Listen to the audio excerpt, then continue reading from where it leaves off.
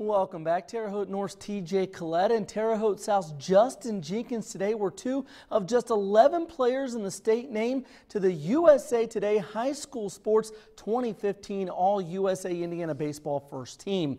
Collett who's committed to the University of Kentucky had one of the most unusual seasons ever on the diamond. Opponents had so much respect for him. He was walked 45 times, two shy of the state single season record. As a junior this year, he also set the state career all-time walk record. He didn't get a lot of bats. He finished the year hitting 292 with three homers and 16 RBI. As for Jenkins, he's a threat on the diamond on both center field and at the plate. This past season, the University of Iowa recruit hit 383 for the Braves with two homers and 19 runs batted in.